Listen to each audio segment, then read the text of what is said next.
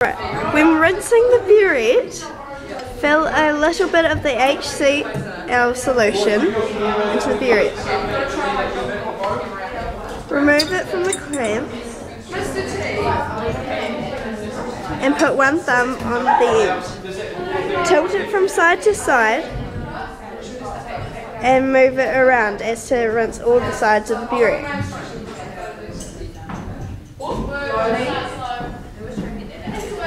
To rinse the end of the burette, remove the clamp.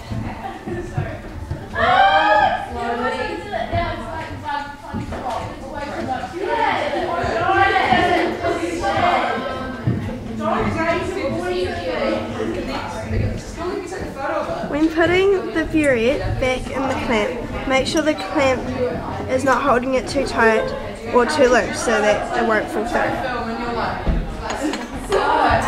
When filling the burette with HCl, put it through a funnel and make sure the funnel is up a bit to let the air through.